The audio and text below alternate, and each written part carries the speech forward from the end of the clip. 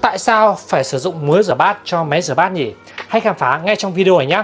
Đối với máy rửa bát, ngoài viên rửa bát, bột rửa là yếu tố không thể thiếu, máy còn cần thêm muối chuyên dụng. Tại sao máy rửa bát cần dùng muối là thắc mắc của rất nhiều người. Thì nhiều anh chị khách hàng nghĩ là chỉ cần rửa bát bằng các chất tẩy rửa là bát đĩa sẽ sạch.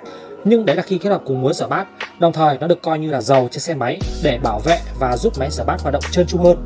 Nguyên nhân là nước sinh hoạt hàng ngày có rất nhiều tạp chất như magie, cặn vôi, canxi kết tụ và bám trên đường ống gây tắc nghẽn ống xả và vòi phun.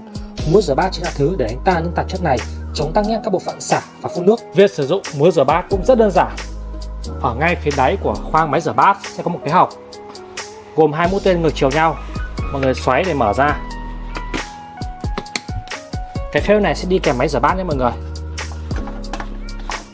Rồi chúng ta dùng muối này, đổ đầy thường, cái hộp muối một cân như thế này sẽ dùng được cho khoảng từ 2 tới 3 tháng cơ và khi mà đã đổ đầy rồi, chúng ta sẽ đổ nước vào đây, dùng một cái đũa để khoáng đều tiếp đến, chúng ta chỉ cần đóng chặt lại là được ngoài ra khi mà muối rửa bát đã hết ấy, mọi người có thể quan sát và nó báo trên màn hình điện tử này.